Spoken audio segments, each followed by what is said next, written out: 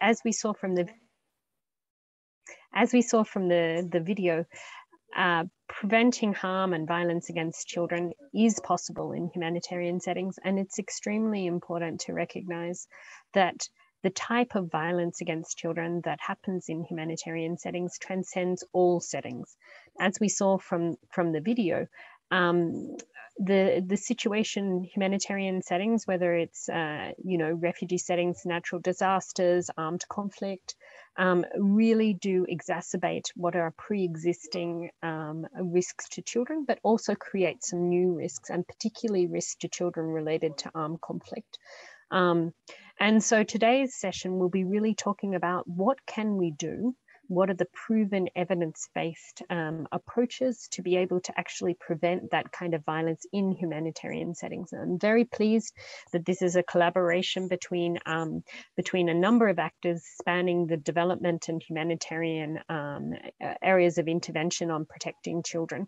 I won't name all the partners um, because there's been such a huge uh, effort, collaborative effort to put this, this, this event together, but we're really pleased to, to see that we have UN actors, government government authorities, um, the, the various uh, uh, networks of, of actors at the global level working on these areas. So huge thanks to everyone.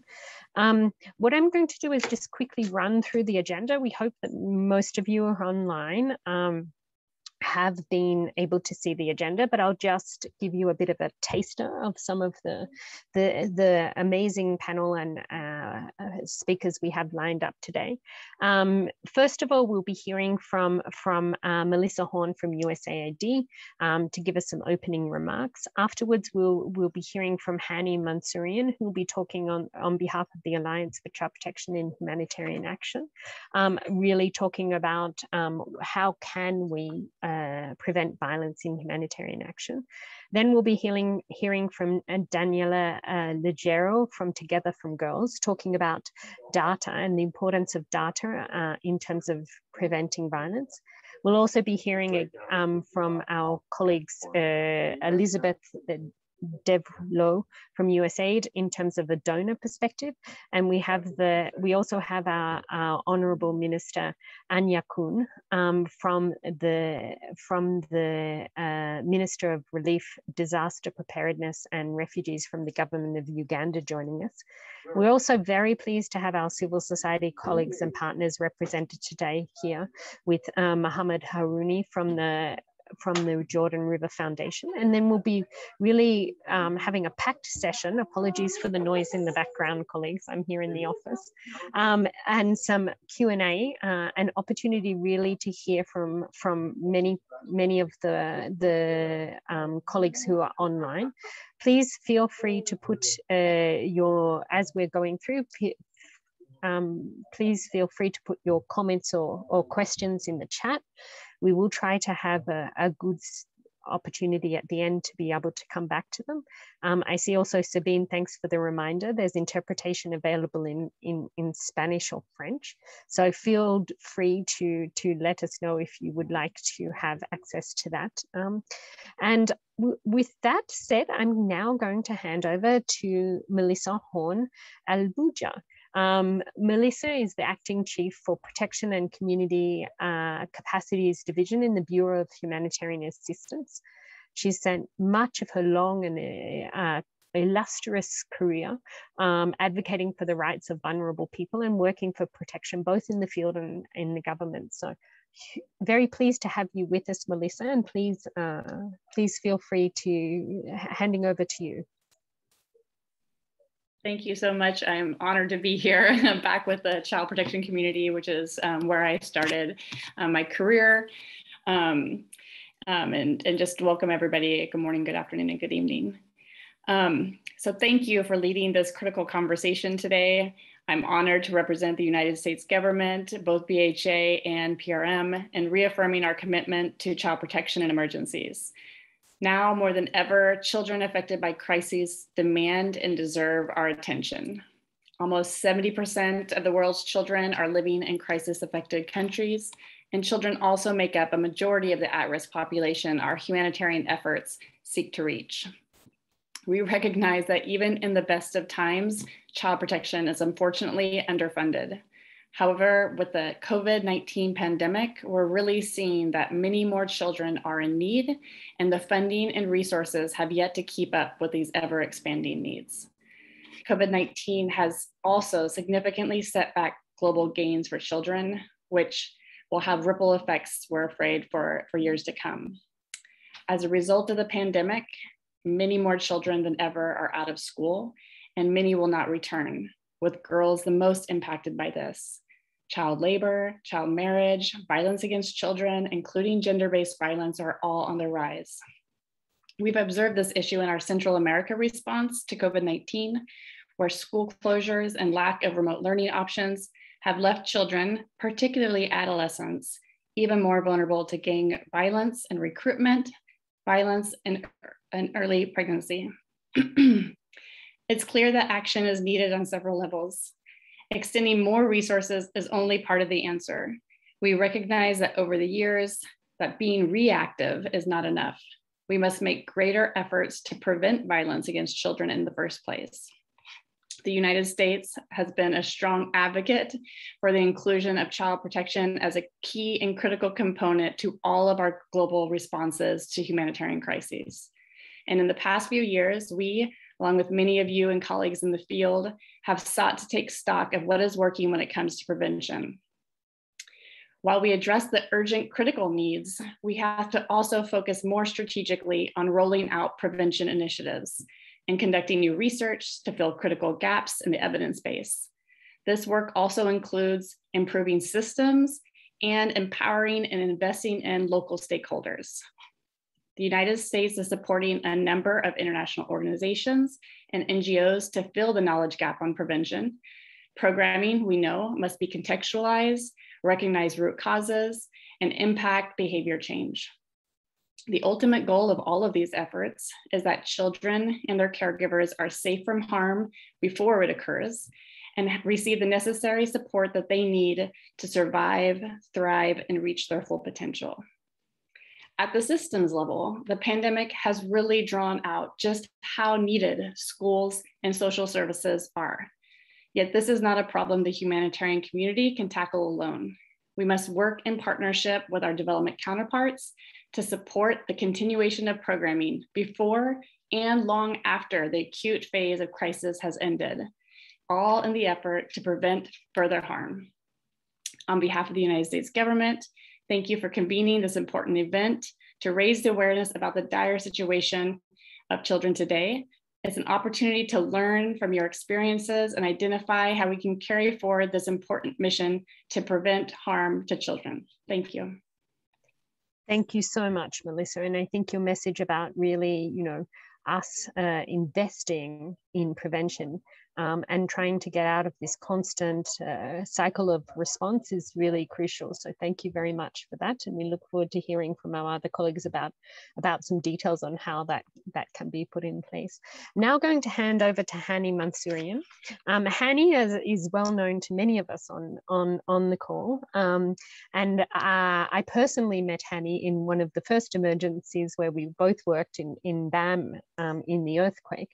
So Hani, as as you know is the uh, director of uh, the coordinator, sorry, of the Alliance for Humanitarian Action, um, and has worked for many, many years on uh, refugee issues as well as child protection, working with local NGOs as well as international NGOs um, and UN agencies, and um, in many settings. So we're really pleased to introduce Hani. Um, over to you, Hani.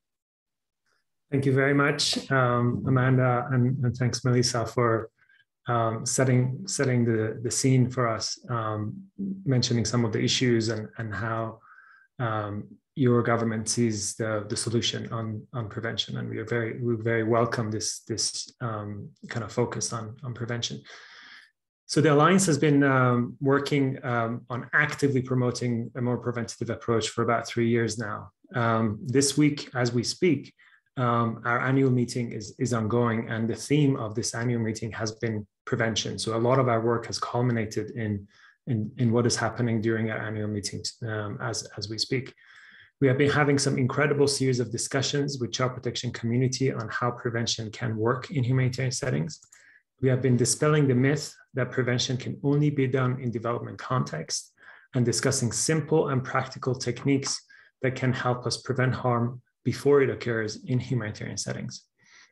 We have heard over 45 examples by practitioners and, and academics on best practices and lessons learned on preventive approaches um, and, and how they're being implemented uh, at the field level uh, at the moment.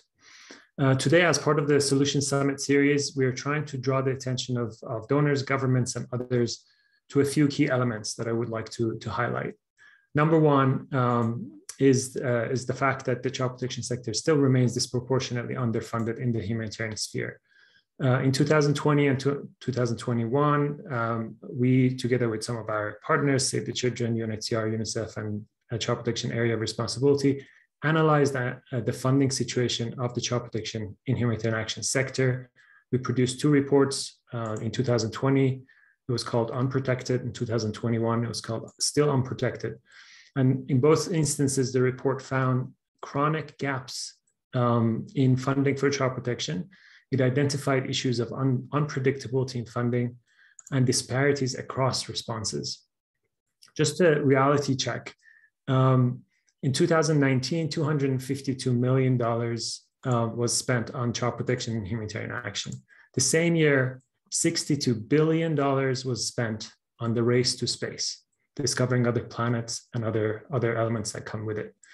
Um, 72.9 billion US dollars in the same year was spent um, on maintenance and, and development of nuclear weapons. That's 290 times what was spent on child protection. I mention that not because any of us are making those decisions, but just to say what a long way we have to go in advocating uh, for children and for the rights of children and for getting our priorities right. The second issue I want to, to mention is prevention and specifically primary prevention is feasible and achievable as colleagues mentioned in humanitarian settings. We can effectively identify and address risk factors to harm while also strengthening protective factors amidst humanitarian crisis, before, during, and after them. It is not, it is not only a more dignifying approach to humanitarian action, but it is also cost effective. And also, um, we also have an ethical imperative to prevent harm when it is possible to do so. Practical ways to, to prevent harm have been documented in the minimum standards for child protection and humanitarian action, as well as the INSPIRE package. While prevention should not take away any investment from critical remedial actions that we currently do, every dollar that we invest in prevention will reduce the need for, for responsive action, hence saving us money in the long run. The third point uh, is uh, the multi-sectoral nature of prevention and the fact that it gives us the opportunity to capitalize on the resources available across the humanitarian field outside of the, of the child protection sector. Through the prevention lens, the complementarity nature of different sectoral interventions become abundantly clear. The prevention approach will help us more clearly see how joint and integrated programming can optimize resources by contributing to and reinforcing several sectoral outcomes. For example, a livelihood or nutritional program can in fact prevent child labor or recruitment, while child protection programs can enhance nutritional or educational outcomes. So we're gaining two or three things uh, with one investment. In essence, the prevention lens helps help us see the child more holistically. The Alliance currently works very actively on cross-sectoral co collaboration for the same reasons that I mentioned. Um, it's also part of our new strategy that was actually released yesterday. My colleague will, um, will paste the, the link in the chat for all of you to see it. We also work on cross-sectoral collaboration very actively under the pillar four of our minimum standards um, in collaboration with a lot of the uh, actors that are in, on this call. And the last point is that we would like to urge donors and governments present on this call and beyond to become advocates of prevention lens for child protection in, uh, programming in their areas of influence. Part of this is linked to increasing funding cycles from six to 12 months, which is very typical in humanitarian settings, to multi-year funding. With the average age of a humanitarian crisis being at nine years at the moment, we can't really justify six to 12 month cycles anymore. This will enable longer term thinking and planning, including systemic inclusion of, um, of prevention aspects in child protection and humanitarian action programming. We would like to continue this dialogue with, with donors, partners, governments, and understanding how we can, we can work together to promote this preventative lens and overcome the hurdles that may exist. Thank you very much. Back to you, Amanda. Thank you, Hani. And as usual, you really eloquently summed up some of the key points. Um, particularly want to draw attention to one of the points that you mentioned, which is the importance of having an integrated approach not only having child protection, but also really leveraging the, the, the possibility of all the other interventions we make in humanitarian settings to contribute to and better protect children and, and the synergies and, and cost efficiencies that can be gained um, from this type of approach. So um, very, very um, insightful from your side. I'm going to now hand over to um, Daniela. Uh, Daniela Ligiero is the executive director and, and chief executive officer officer of, of Together for Girls, um, and um, has been working tirelessly for many years to end violence against children, particularly the, the, the issue of sexual violence. And I know Daniela is a passionate advocate for many, many years of, of this and, and an eloquent um, speaker and, and, and advocate around the issues of gender equality, as well as um, ending violence against children, particularly violence against girls. Um, herself being a survivor and having spoken uh, uh, publicly and passionately about the need to ensure that not one more child has to suffer these kind of um, violence. So over to you, Daniela. Um, thanks for joining us. Thank you so much, Amanda. It's such a, a, privilege to be here with all of you. And I really appreciate um, my colleagues who spoke earlier, uh, Melissa and Hani, excellent points you made. Yeah, so I have a few slides just to give a little bit of context. So I'm going to try this out. Let's see. Yes. Okay. So yeah, as Amanda said, um, I work for Together for Girls. We are a public-private partnership that is focused on ending violence against children, and we pay special attention to sexual violence and to the gender dimensions of that violence against children and adolescents. And as you can see here, several of the um, representatives on this call today are part of our partnership. But most importantly, we also have over 20 national governments that are part of this partnership. Um, and I want to um, honor the minister. Thank you for your leadership um, in Uganda. There's been so much work that's happened there on this issue. Um, we work with a pretty straightforward model. And I will say we are primarily working in you know, in development settings. Um, and our model has been in place for over a decade now. It's pretty straightforward data and advocacy to drive action. And really, what this means is we start with really understanding the size and the magnitude of the problem of violence against children and adolescents. Uh, this particular piece of work is led by the US Centers for Disease Control with national governments, UNICEF, and other partners to really understand a lot of granularity around violence for those under the age of 24. So, children, adolescents, and youth, boys and girls. And you get a flavor of everything from times of day, locations, perpetrators, types of violence to really offer insight into understanding the problem because we believe it's really hard to do programming and especially prevention, which you were mentioning, Hani, is so important, if you don't fully understand the magnitude of the problem. Um, and then those data, along with targeted advocacy, lead to nationally led, evidence based, multi sectoral responses to create results at scale.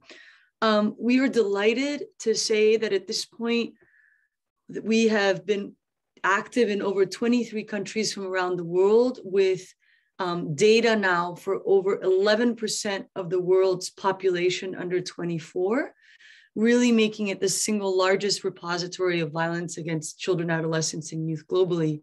And there's a lot of information that is then led to actually programming policies, responses that have been effective.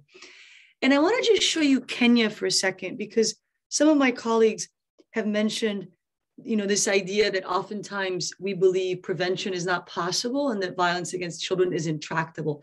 That is not true. And now we have evidence at a population level to show that. So I want to show you the, the VACS um, the survey, the Violence Against Children and Youth surveys that were done in 2010 and then in 2019. And over a period of nine years at a population level, again, this is you know data that represents the entire nation we saw significant decreases in all forms of violence um, against boys and girls. We also found and this is interesting there were a couple of places where we actually saw a little bit of an increase. And so that granularity helps you understand okay here are the places where our programs you know programs and policies that the government of kenya and others put into place made a difference. And here are places where where that didn't happen but it is possible to reduce violence against children, adolescents, and youth at a population level. And we're beginning, this is all very new still, but we're beginning to be able to show that. And since we are talking about humanitarian settings, um, I just want to say that we are really excited that over the last year, we have worked closely with CDC, the government of Canada, as well as the IRC, and many other partners, um, many of whom are here, to adapt the survey, the methodology, the questions that we've developed via the VACS for use in humanitarian settings. We understand that, you know, as part of doing effective prevention, it is important to better understand the details around the issues of violence against children, adolescents, and youth. We don't have good data for these settings.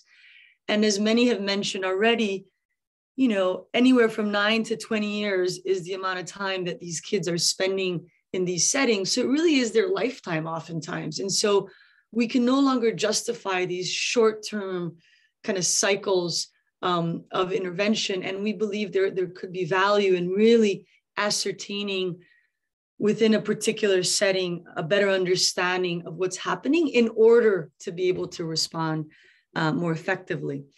And you know, I I do want to just say I'm excited about the opportunity of the connection between the kind of development and humanitarian space and the connectivity and the learning that we can do from each other. So this is a new area of work for us, and we're excited to get started on it. Um, and with that, um, I promise to be brief because I'm going to hand it over to Dr. Chi-Chi Undie, um, who is from the Population Council and is actually going to be piloting um, a survey on violence against children, building off of some of the work we've done with some technical assistance uh, from CDC. And so great to hear from you, Chichi, around kind of the piloting that you'll be doing moving forward. Thanks so much. Thank you very much, Daniela, um, for setting that up so nicely. Um, I believe I'm supposed to share my screen. So let me see if I can do that.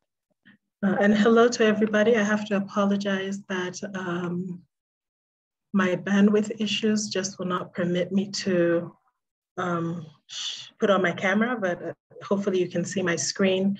Um, and I'd like to pick up from uh, where Daniela left off um, to just talk about uh, how delighted we are to have the opportunity to, to put that uh, humanitarian VACS implementation guide to use uh, within a few countries, uh, starting with Uganda, under uh, an FCDO funded research program consortium that we refer to as BAOBAB. Um, and the whole goal of this uh, research program consortium is to fill gaps in evidence, the very gaps that Daniela was um, referring to um, in sexual and reproductive health and rights uh, within refugee settings in the East and Horn of Africa. And as Daniela um, so rightly put it, we now have um, populations that have spent decades, generations of populations within um, refugee settings. And so we can no longer make the excuse that um, we, can't, we can't do certain surveys. And what Baobab aims to do is to start to bring some of these really well-regarded, robust surveys that have been used elsewhere um, into refugee settings for the first time. Um, and uh, we draw on the former DFID's uh, comment about wanting to have a bigger, better, and faster humanitarian response capability. And we believe that, you know, introducing some of these surveys that we've been able to take for granted outside refugee settings would be extremely helpful. So we'll be doing a number of surveys under this program. Um, but I'm focusing today just for a few minutes on the Violence Against Children survey in particular. Uh, this research program consortium, I should stay, say, um, it spans a five and a half year period. It began just in January this year, and um, it's a partnership uh, between the Population Council, the African Population and Health Research Center, WellMaid Strategy, and of course, FCDO. Um, and I just want to really focus on the importance of partnerships uh, within this work as we begin our preparation. So we've basically been preparing um, for a number of months now, and uh, we expect to begin data collection before the year ends, so the last quarter of uh, the year, which we're in right now. On this slide, I've just, I deliberately wanted to give, show the array of partners that it's taking and that it will take um, to make sure that uh, this survey is implemented properly. And you'll notice at the center we have persons of concern to UNHCR. We're focusing specifically uh, on refugees. Um, but a range of government partners. UNHCR, of course, has been our strategic partner for a while, both at the regional level um, and uh, at the country level. Um, the GBV area of responsibility, local advisory boards, and so on and so forth. So it's really going to take a village um, to get this work off the ground um, and to sustain it. And I should say that over the course of this year, we have um, established partnerships with at least half of the um, institutions you see uh, displayed up here, and we'll continue to uh, ensure that we are forging these partnerships to ensure that uh, this work uh, gets off the ground properly um, and is used in the end um, to make a difference in the lives of uh, refugees. And in terms of preparation, it's also about, in addition to forging the right partnerships, nurturing and sustaining them, it's also about uh, tailoring um, this VACS to specific humanitarian contexts. Um, in Daniela's slide, I deliberately borrowed this picture on the left from Daniela's slide. And the picture on the right is a picture uh, of a refugee settlement um, in Uganda, um, just to show sort of the stark contrast that there can be between different kinds of refugee settings. Um, and therefore, uh, the need to really draw on local knowledge, the knowledge of refugees themselves, the knowledge of those who work with them, um, to ensure that we are carrying out this survey as appropriately and ethically uh, as possible. So these are the things that uh, we are doing um, heading up to the actual implementation uh, of this particular survey. And ultimately our goals really are um, to use these data that we end up collecting and leverage the partnerships that we are forging and sustaining to prioritize and inform prevention efforts. Uh, similar to the VACS, which I know that uh, Daniela didn't have enough time to really talk about, but you know, what happens after the VACS? After the VACS, there's uh, typically a national a refugee, a national response plan, apologies, uh, that happens um, in the development sector that brings together government and non-governmental organizations, um, provides technical assistance um, to get them to look through the data and use that data to map out what makes sense for their context in terms of you know, programs, prevention and response programs that need to be implemented. We plan to use the same model and do this for refugees specifically. And so to have, call it a national refugee response plan based on what we learned from the first ever VACS in uh, humanitarian settings in Uganda. And ultimately, uh, through that process, we hope that um, the country will begin to implement effective prevention and response actions, which will lead to the end of violence against children. I only had a few minutes, so I'm going to end there and uh, thank you all for your attention. Thank you very much, Daniela and Chichi. I mean, I think it's so fascinating the work that you you've been able to do, and also really this the power of, of data to inform more effective um, prevention work is is so well illustrated by the work you're you're doing. And also i think it's it's fantastic to show that it is possible to do these kind of um, uh, in-depth nuanced studies on the nature and causes of, of violence in humanitarian settings including in refugee settings. It was particularly um, you know struck by by the importance of partnership and how indeed it takes a village to do this and particularly in terms of your your message chichi about the importance of partnership with refugees and communities who often actually are the experts on the nature of violence um, and their experiences of it in a day-to-day level and and can provide some you know really important insights in how to to prevent it. So thank you so much for that. I was also very impressed by I was also very impressed by the statistic from Daniela of 11% having been able to get 11% of, of, of the world's population of children and, and young people covered by the surveys. It's an incredible job. So thank you so much for the work you're, you're both doing. I'm now going to hand over to um, Elizabeth uh, Deb, Deblo, who is a humanitarian protection advisor um, and acting team lead uh, with the protection team at uh, USAID's uh, Bureau for Humanitarian Assistance. And her role is to support the agency and the partners on technical components of protection programming. Apologies, as you can see, I am reading some of the bios because my memory is not good to be able to um, memorize all of the exceptional uh, speakers' uh, backgrounds here on, on, that we have on the panel. So over to you, um, Elizabeth. Thank you, Amanda, and thank you so much to all. It's such an honor to be here with um, professionals with such expertise and passion for a cause that is so critical, um, especially as we consider that children make the majority of the population's humanitarian settings. Um, so today we're here to talk about prevention and I've gotten to be a part of the Alliance uh, meetings this week and it's just been fantastically inspiring to listen to what we know works when it comes to prevention.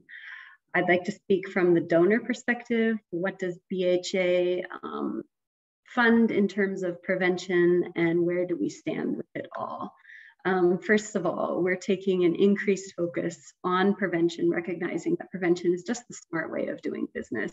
Um, when we think about the fact that it is not only more economical to prevent rather than to treat, but also prevention, where done correctly, is much more effective in saving lives than coming in after the fact to respond.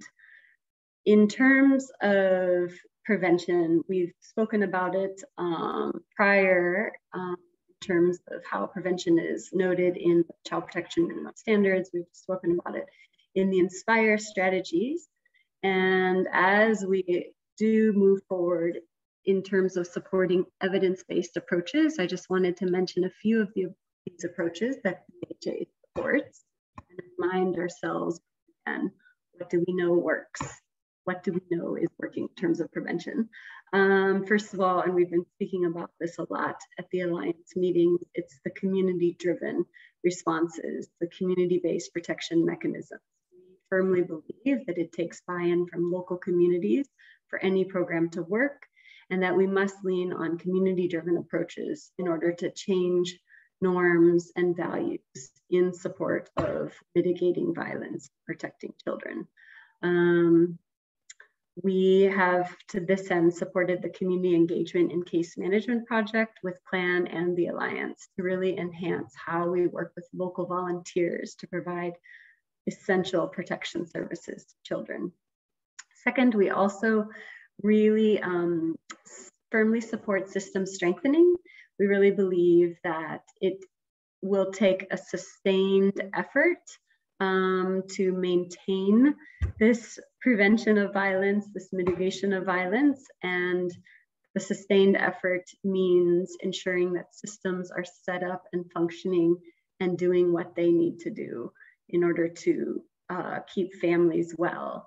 And this is an activity that falls very well within the Nexus. We recognize that we must collaborate with our development colleagues. We must share knowledge, um, and case in point, going back to where we started the Inspire strategies, which were developed on the development side. Um, also, if we've learned anything out of COVID, it's that we cannot trust that borders will remain open for the so-called experts to come and go and support service provision. And as such, we must rely on the actual experts on the ground, those who are locally available. Um, and so not only do we want to support systems, but we want to, in in the supportive system support localization of our efforts. Um, on that point, what I'll mention is that we supported this online platform with the Alliance, also with Plan to disseminate adaptations for programming in COVID times. Um, and while we recognize that that is and has been useful, um, we recognize in the system strengthening and localization effort, we cannot only rely on webinars, um, but we must look at other ways um, that aren't reliant on internet provision and that don't play only to say one learning style. Um, and so we're very excited that the Alliance has continued to prioritize localization um, as a priority in their strategy going forward and how do we better support localization and all the creative ways that we hope that happen in the future. Third, we also really believe that parents are the first line of defense to preventing violence against their children. And we very strongly support parenting, skills development, um, efforts that support the whole family holistically. Um, we're currently funding with the IRC a parenting program specifically aimed at reducing recruitment of children into armed groups and supporting reintegration of those who are coming out. And as we talk about CAAFAG, um, the fourth thing that we look at is the recognition that we must specialize our programming for children. We believe that children and young people have the necessary have the agency to tell us what they need, um, that they can learn skills to keep themselves safe, um, and that they're not a homogenous group, that childhood is not a single experience, but that there are a variety of developmental stages that occur through childhood and that we must tailor our programming to these individual stages and needs, gender and other related. And so we really focus in on these specialized programming. Um, as we speak to specialized programming, a priority that BHA is really looking at currently, um, and this is with the Thrive Act that came into being in the US recently, is we're looking at early childhood development.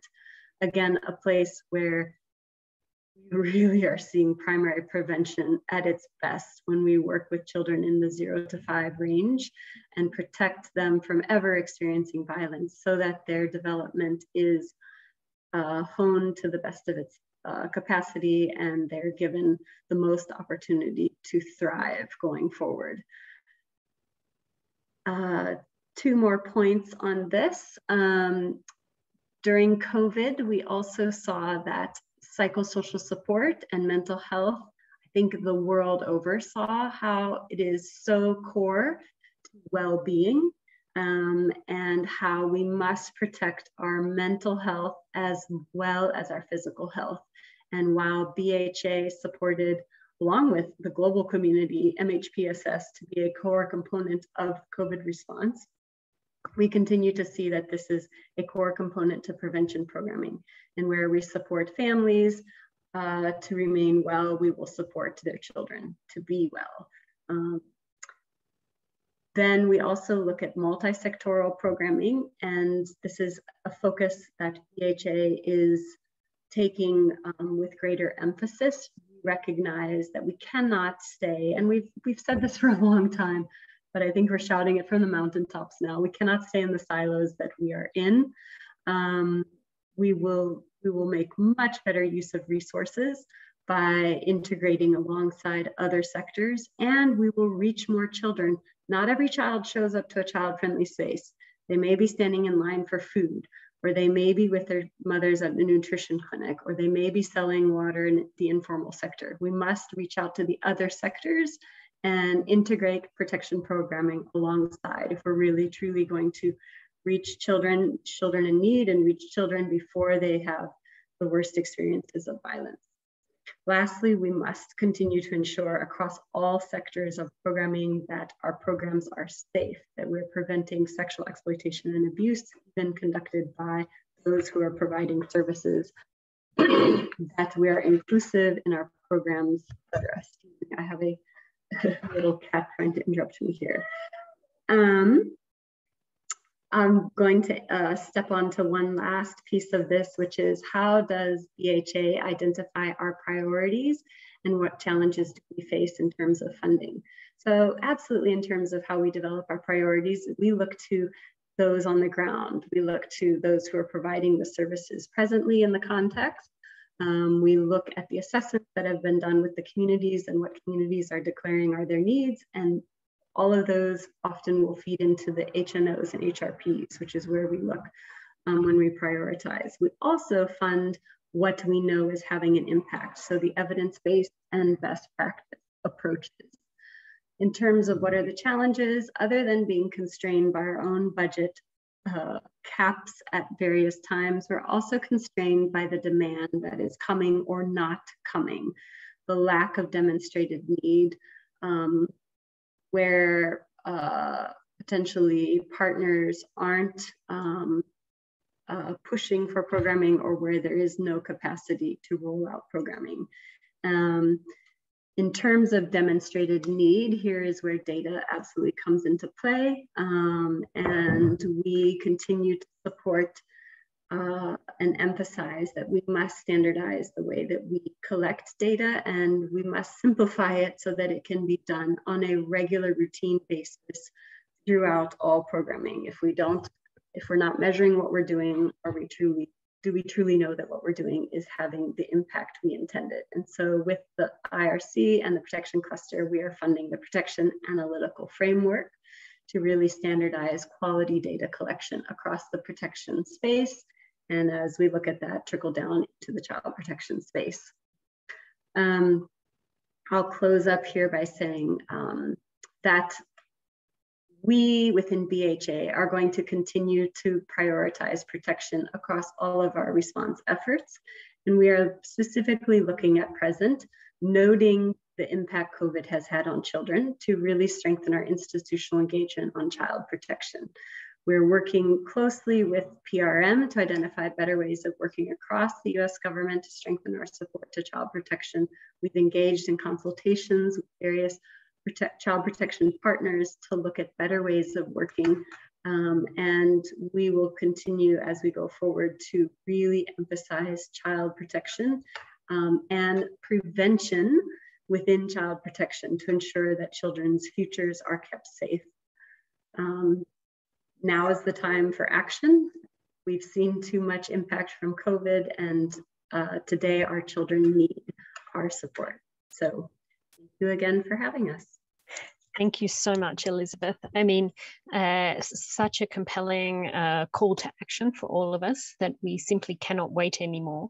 Um, and that there is evidence based programs out there, and it is possible to prevent through engagement with communities, working with children and parents as partners, um, as well as you know looking at how we can take um, approaches from the development uh, work, evidence based, and adapt and and and scale them up in humanitarian settings. And so, you know, really appreciate your your call to action um, here, and also your commitment uh, to really funding these kind of prevention programs. Thank you. So now we're going to turn to uh, the Honourable Minister uh, Anyakun from uh, Uganda.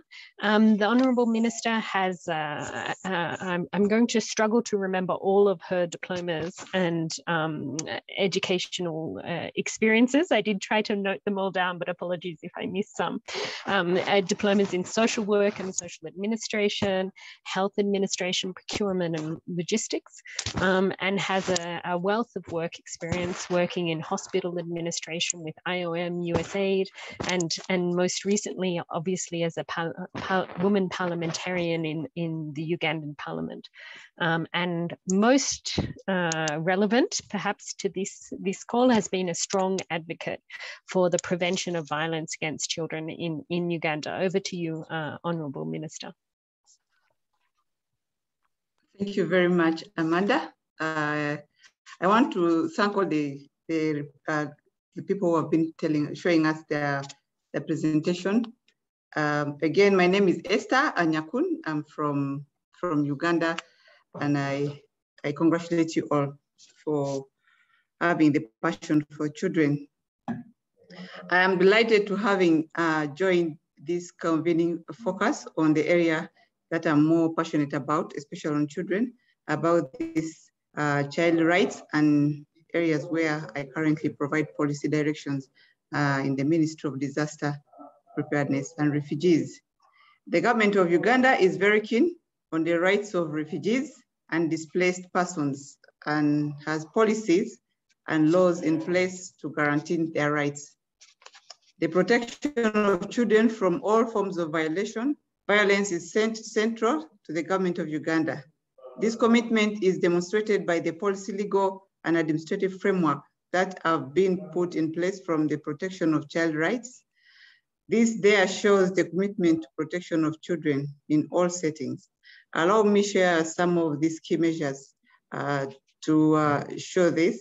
In 2016, Uganda joined uh, the group of pathfinding countries to model efforts of prevent, to prevent and respond to uh, violence against uh, children. This has been a major drive to action to prevent and respond to violence against children. Some of the achievements uh, re realized in the area of violence uh, prevention include enact enactment, uh, enactment the Act, Children's Act 20, 2016, Children's, uh, Children's Ugandan's Children's Act as detailed provision on VAC and also specific, specifically as the National Child Helpline embedded in, in the law. Enactment of the Prohibition, Prohibition of Human Sacrifice Act 2021. This is when I was in this uh, 10th parliament. Uh, this being the most recent law passed by the Parliament of Uganda and ascended to by His Excellency, the President Yoweri Kaguta Museveni, that looks at the protection and curbing the gaps that exist uh, in, in this country. Uh, strengthen partnership and collaboration, facilitated multiple stakeholders, synergy, i.e. the intra and multi-sectoral task forces in uh, VAC. In 2020, enacted the national child policy. Among the key objectives in the policy is one focusing on providing uh, coordinated national frameworks to prevent, respond to the to and protect ch children from all forms of violence, exploitation, abuse, and neglect. The policy also uh, explicit provides for children in disaster and emergency situations. Uh, strategy number six, uh, this was developed and implemented as a national response for prevention of, of and resettling of all children in crisis, disaster, and emergency, including street situations. Why has Uganda made strides in this? High-level political, uh, political will, supported by robust policy and legal framework, and commitment to, the implement, to its implementation. Uh, national child policy was anonymously approved by cabinet chaired by His Excellency, the President the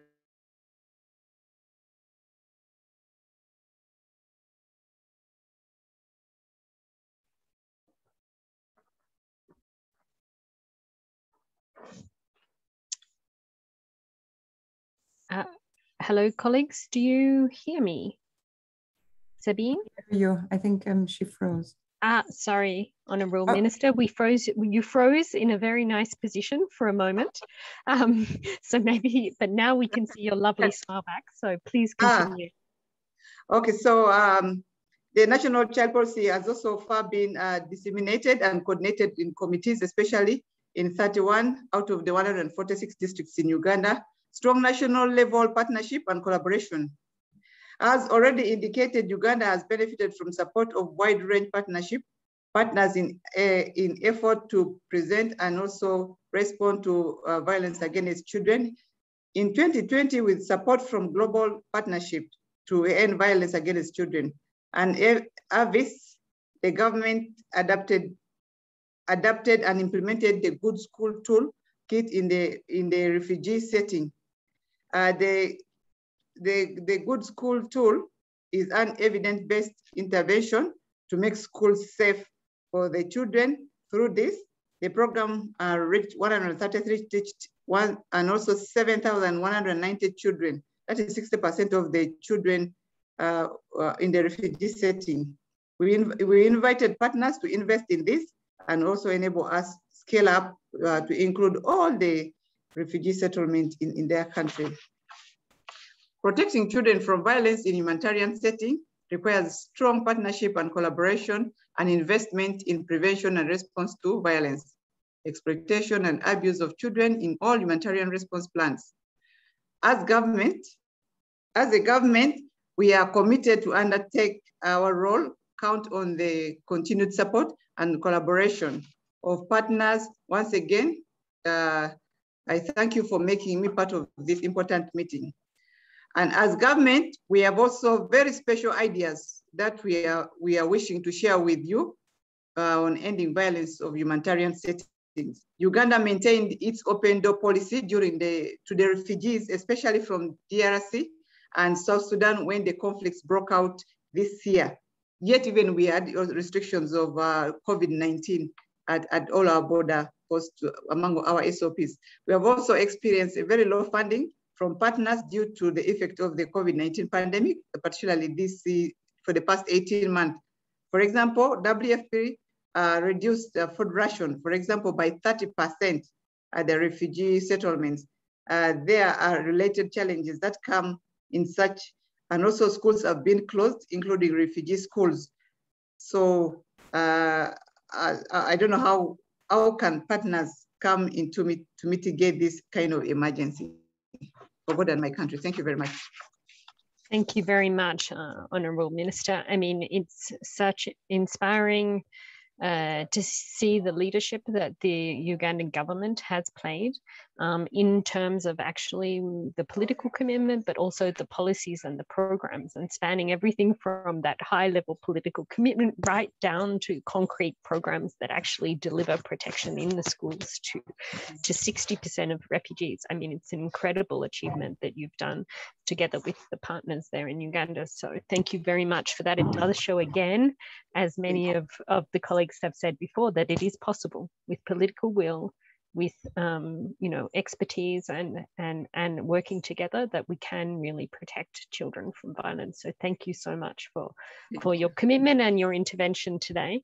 I also just wanted to highlight maybe one thing that you did say that obviously as unhcr you know would like to to pick up is is the importance of of ensuring that that um, children and their families can flee from armed conflict and seek safety so we also want to thank the government of Uganda as well as all other governments and partners who, who continue to provide that opportunity to protect children by ensuring that they can flee um, to safety across borders or within their countries um, from, from areas that are currently experiencing um, armed conflict. So thank you very much again. Um, we're going to now turn to, um, I believe, the, the last, but certainly not the least, uh, speaker on our panel today, um, Dr. Mohammed Hourani, who is the Director of Programs and Training at the Jordan River Foundation, an organization which I had the pleasure to work very closely with when I was in Jordan. And, and I'm very familiar with the, the excellent work that the Jordan River Foundation has been uh, doing in both preventing and responding to violence against children for many years. Um, uh, uh, Mr. Hourani Mohammed has had, uh, you know, extensive uh, experience on child safety and community empowerment programs, over 20 years of experience in development um, and, and programs supporting women and children, and uh, also has a PhD in education and psychology. So I think we probably have one of the most educated panels around. Um, over to you, Mohammed. Thank you so much. Uh, and uh, honestly, thank you so much for hosting uh, me. And it is my honor and privilege to represent my organization in this very important uh, summit. Allow me to share a very quick presentation and to briefly go through the context in Jordan. Jordan was one of the first countries that uh, signed the Convention on the Right of uh, the Children, under which children have the right to survival, education and development, health and nutrition, protection and uh, participation. Uh, two, uh, 20 years ago, Jordan has taken a massive steps to uh, uh, uh, prepare and enable the environment to prevent children abuse and it started with uh, uh, whether issuing or amending or drafting laws and policies and procedures like the protection against domestic violence laws, which was issued in 2017. Uh, also the penal code uh, laws, uh, labor laws, and right of person with disabilities and juvenile uh, justice uh, system in general, and to make sure that uh, those rights are upheld comprehensively. A lot of organization on national level has been established like the Family Protection Department under the Police uh, Division, the National uh, Council for Family Affairs, and the National Center for Human uh, Uh, uh, rights uh, in general, and a lot of coordination that made sure that the, the synergy in the implementation is put in place uh, a lot of co coordinations and frameworks has been put in place in, co in coordination with the entities working in the protection sector. So national frameworks has been put, national standard operating procedures and a lot of coordination platforms has been established. Last year, the Family Protection Department has reported around 55,000 abuse uh, cases, and this is an increase compared to the previous year. It's almost 22% increase compared to the previous year, and uh, the pandemic COVID-19 has played a significant role in this increase because the uh, perpetrator and the victim has been uh, locked uh, under the same uh, roof uh, in, in which uh, the physical abuse was mainly the, the, the, largest portion of the abuse cases in 2020. The sexual abuse was almost one third of the abused cases.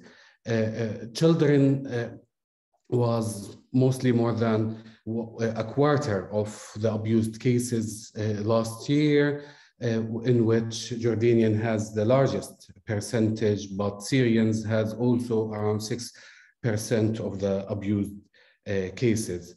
Uh, allow me just to introduce my organization. Jordan River Foundation is one of the oldest national organizations in the country, which was established in 1995 with the mandate of protect, protecting uh, children and uh, supporting the economic uh, situation in our communities in support to the national efforts on achieving the sustainable development goals. JRF mainly achieve its vision and mission through two, two, main programs, the Community Empowerment One and the Child Safety Program, which will be the focus of my presentation today. But the Community Empowerment Program, in a very nutshell, focuses on building sustainable livelihood and create economic opportunities in the uh, community. Going back to the child safety program, the children well-being is the main focus in which we do have two main pillars to support the achievement of uh, this uh, uh, ambition and vision in which we JRF has intervention services to support the victim of abuse like case management services, psychosocial services, and one of the uh, largest helpline in the country, which is the second after 911 when it comes to family and child protection. It's a free helpline called 110 in addition to the prevention activities that uh, focuses on building the, the, the, the, education and awareness of community members in the preservation and the rights of uh, children and uh, women. The uh, focus of our prevention services is the emotional empowerment uh, of our community. It focuses on building knowledge, education, and experience on how to prevent uh, community members and specifically children and women from the cases of abuse or from being victim of abuse using artistic and expressive art methodologies. So we don't just jump and try to force the concepts of child uh, protection on our beneficiaries. The uh, activities we adopt to achieve uh, or to uh, convey our uh, messages uh, varies. Uh, uh, we sometimes target women, sometimes toddlers, and most of the time children, and also adolescents and youth with educational and expressive art activities in, from which we, some, we on annual basis reach around 15,000 beneficiaries. The intervention services are meant to support the victim of abuse. And we do have, uh, as I said, the national helpline that provides uh, free service in which anybody in the king kingdom, in the country can call to seek consultation, refer or report a case of abuse or uh, uh, seek referral services to other uh, partners like medical, uh, education, or even uh, law firms. Uh, our case management services has been established in, nine, in 2009 and it, it's the advocate of the cases of, of abuse until uh, we uh, arrive with them to the safe haven and we uh, help them to remove any risk factors. And the uh, third service is the psychosocial one, which was launched in 2000. Uh, and it meant to help the survivor of abuse to uh, relieve and to remove any psychosocial impact of the case on, on their personality and their communication and contribution to the uh, community. In average, on annual basis, we serve more than 3,500 victims of abuse. Uh, we, uh, uh, in the case management services, psychosocial services are provided to more than 300 beneficiaries, and we receive a, a, mass number of calls, but the callers who receive the actual service is around 7,000 callers on, on yearly uh, basis. I'm trying to be very fast, uh, so I allow uh, the time for discussions and uh, uh, questions. We do have a, a, a, a learning uh, uh, monitoring and evaluation and accountability and learning department, which uh, usually focus on, on monitoring the, the, the output and outcomes of our activities in which they reported that, last year, 80% of our targeted uh, mothers reported improvement in parental care and improvement in their uh, children's uh, knowledge and ability to protect the, themselves. Uh, more than uh, 94 of our beneficiaries uh, Uh, uh, uh, stated that the psychosocial services and the, the counseling improved their emotional well-being in terms of decreased the level of stress, anxiety, nightmares, and all related uh, symptoms of uh, the abused cases. 60% of the monitored uh, parents reported a change in their rearing practices and parenting practices. Uh, during COVID, uh, the restrictions and limitations on movement uh, challenged us and we adapted our approaches and invested in the helpline, which helped us uh, to uh, remotely provide uh, our services regardless of time and location, especially with the limitations in movement. And we responded to the emerging need uh, of our community and specifically uh, focused on uh, the COVID impact on the children well-being and packages has been developed and implemented remotely with families uh, to tackle these issues and also uh, uh, a lot of movement towards preventing online sexual exploitations has been uh, put in place in which uh, online learning and other platforms has been uh, also observed in our community and there has been a demand and a need on safeguarding our children from online risks. In general, we, uh, as part of the globe, we face uh, challenges, and uh, most of the challenges are common on, on the global level, like uh, what I heard from uh, my colleague Hani, the, the, the support and the financial support, the donation to the uh, intervention services is not always stable. It's, it comes with short cycles, but it also focuses only on the intervention after the abuse case happened. Limited uh, support and uh, investment goes to preventing uh, the cause and the preventing the case of, of abuses and uh, spreading the knowledge, the awareness, uh, and protecting our community before the, the case happen. Also, in community level, there's lack of involvement. Uh, due to uh, cultural uh, uh norms and uh, maybe with the social cohesion being one of the uh, challenges we face, maybe more community-based interventions in, in terms of holistic interventions is, is much needed in our communities.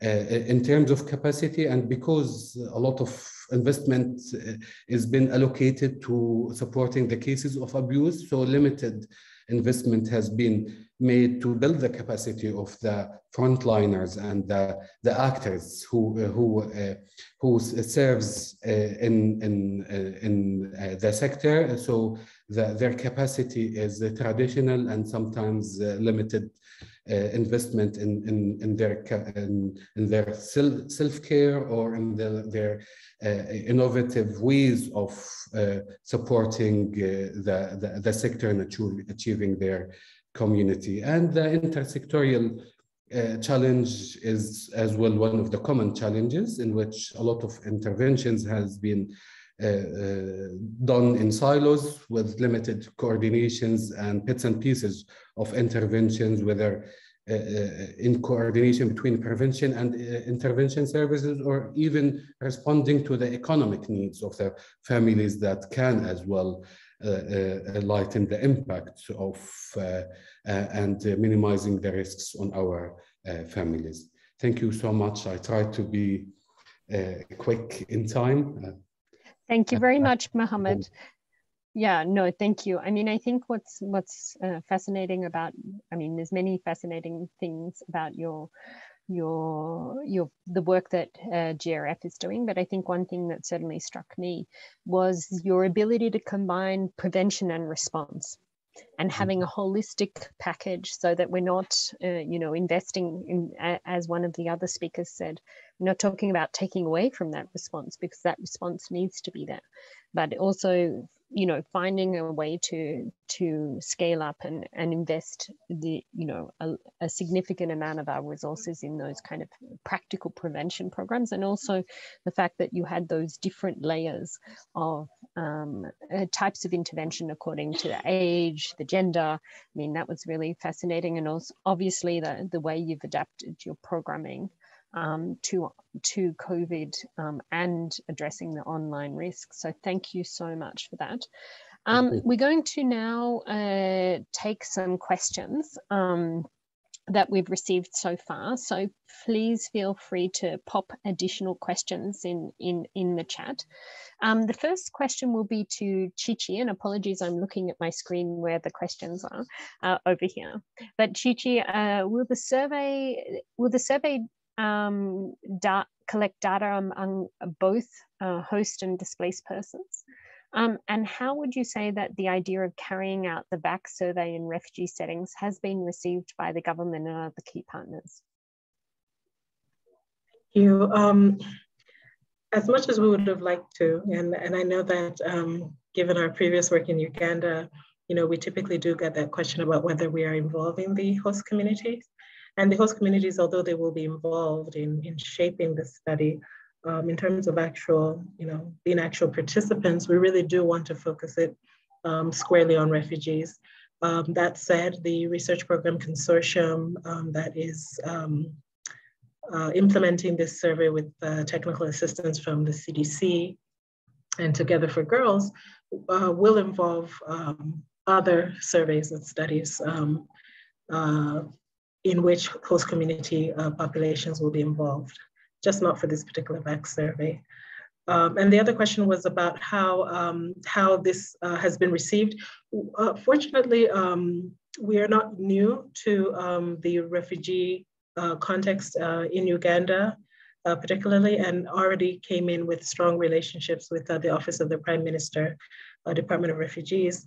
And um, fortunately, we found um, a very warm welcome um, uh, where the study is concerned, and there's the sense that there really is, you know, a need uh, for this, um, not just by the government, but by UNHCR, the country operation, and so on and so forth. So we're looking forward to it. Thank you.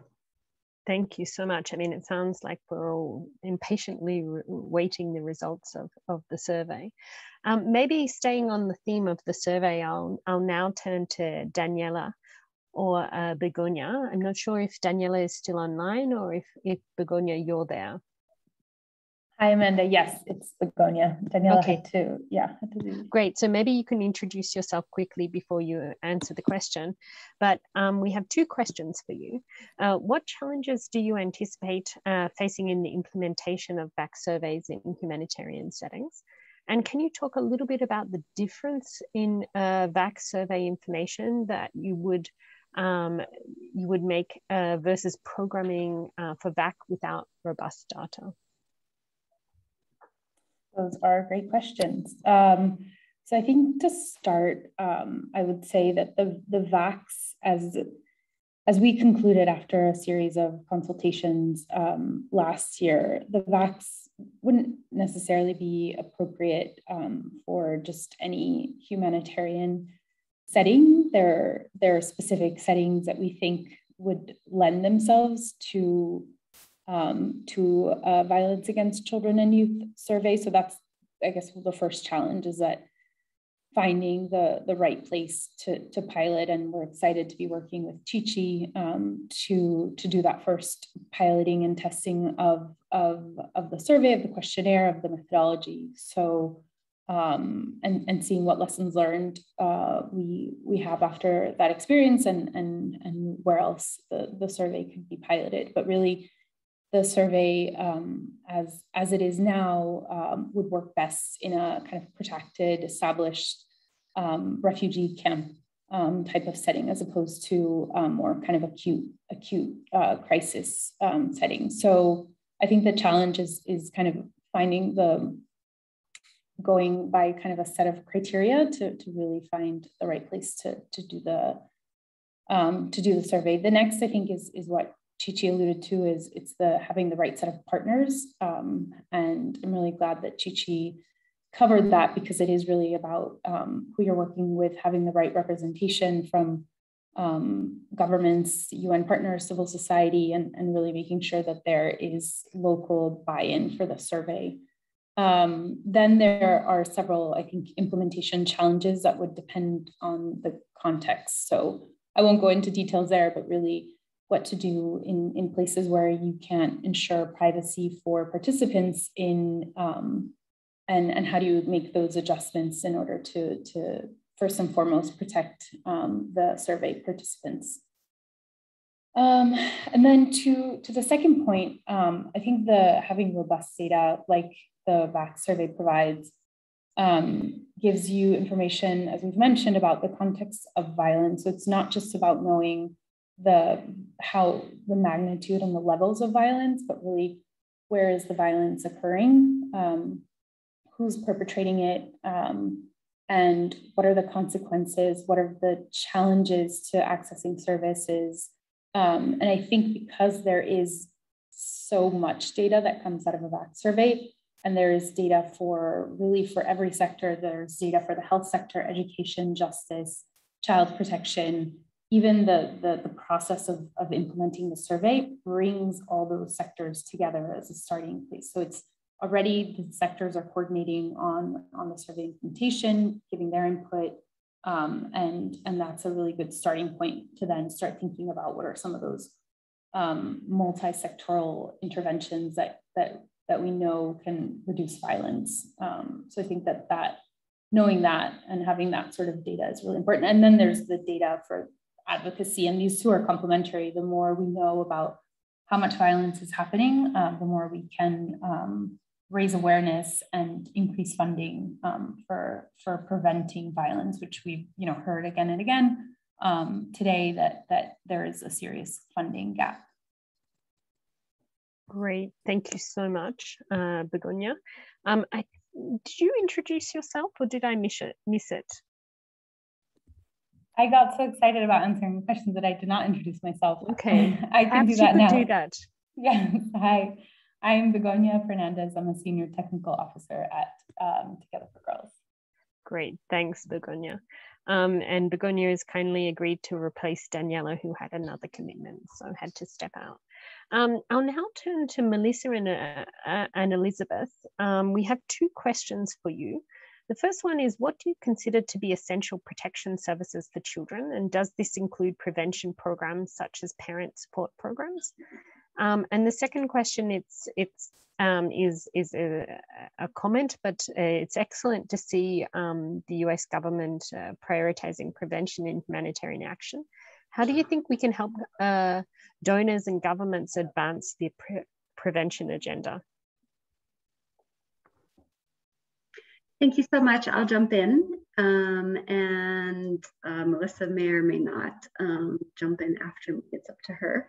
Um, as to essential protection services, I think we would go with what we know is has been promoted across um, the child protection space, the child protection space, um, what we see in the CPMS, um, a lot of what we see actually on the development side, the entire strategy speak to. Um, when we look at humanitarian settings, we're looking at services which are addressing violence, exploitation, and abuse. So everything from case management, tracing, notification, child-friendly spaces, and other structured activities, adolescent centers, these sorts of things that give children a, a safe space um, and a place to access services holistically and robustly. Um, and such great questions, by the way. I'm, I'm enjoying all of these um, to the panelists. But I would say, in terms of as we look at um, how can we, and the way the question is phrased, it sounds like what you're asking is how can we, providers, um, really push donors and governments to prioritize prevention. Um, a few things I would say. Um, first, in terms of demand, demonstrating the demand. And that requires data. And this is partly why BHA is taking a focus on data at the moment. Um, and we do know protection specifically doesn't always get the data required. It, it exploitation happens in, in spaces and is stigmatized and is not easily quantifiable. Um, but where we can present even a qualitative picture of what is happening, we must. We must get protection into the HNOs, HRPs. Um, that is one. Second, in terms of the messaging, we must recognize the audience and speak the language that they that will move them. And for governments and for, for most settings, numbers speak. Um, financially speaking, prevention done right should be much cheaper and should have much greater impact and reduce spend long term rather than response. And if we can get that message across, it should be a part of how we advocate for prevention. Also, we must prove ourselves capable and ready to take the funding that is provided then and run with it and do appropriate services. And in order to do that, uh, we must demonstrate that we have the tools and I will say through the Alliance, and there's such a fantastic collection space for all the tools and guidance that is at our fingertips um, for prevention. Um, second, we must have the human resources and we must be capacitated. And again, we have a global community that is capacitated, but again, as I said earlier, so grateful to see the Alliance really honing in on localization and what does that mean? And let's raise up um, a workforce right at the ground level and um, that will support the systems um, that we're asking governments to put in place in order to uh, conduct prevention activities. Um, we also must uh, have two last points. We must have a united vision because um, uh, where we're united, we stand better together. And again, this alliance meeting all focused around prevention is really uh, bringing together, I think, a very uh, united front for this. And so I think we just stand in a better place going forward. Um, and then lastly, I always think of the 20 80% rule. It takes 20% of any population to influence the 80%. Um, work those relationships. It only takes a few to change the minds of many. Um, so get in where you know that you can find an advocate. It's why we have these things. We're looking for advocates um, and get them to speak on your behalf as well. Great, thank you. Uh, I'm going to build on on one important point as we are running out of time, and I would like to. We have so many questions uh, that we have, and and such a rich discussion. But I would like to give at least an opportunity to to the to the honourable minister. Building on one of the things that that was mentioned here, I mean, how do you, as you've talked about the the child protection policy that was that was um, launched but in your setting how do you ensure that you know in settings like the the refugee settings we have enough um, human resources to really and and qualified staff to be able to turn that policy into practice? Over to you uh, the honorable minister.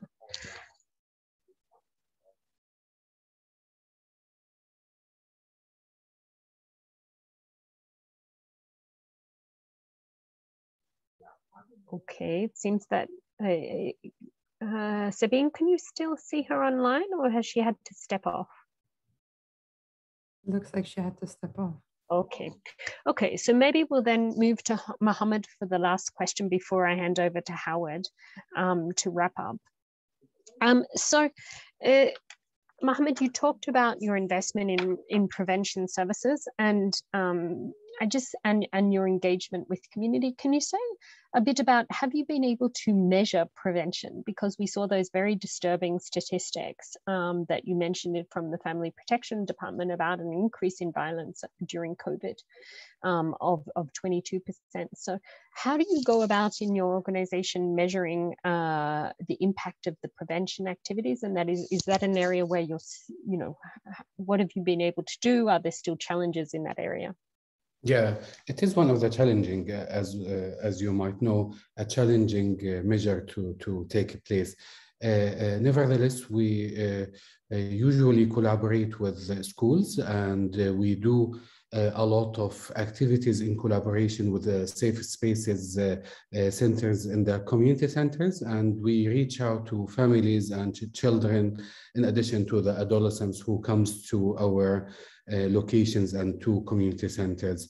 We usually build uh, pre and post uh, assessment tools, but we don't count only on them because we uh, uh, uh, uh, as well refer back to uh, parents and teachers to, to seek feedback on their observations of uh, their children after attending the preventive activities or the educational activities that teach students are or children has been put in.